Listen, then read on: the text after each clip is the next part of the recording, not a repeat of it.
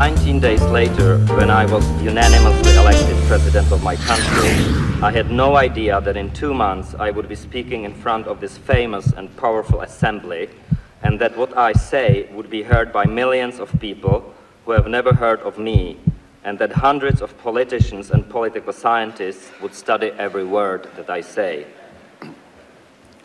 Když mne 27. října zatýkali, When they arrested me on October 27, I was living in a country ruled by the most conservative communist government in Europe, and our society slumbered beneath the pall of a totalitarian system.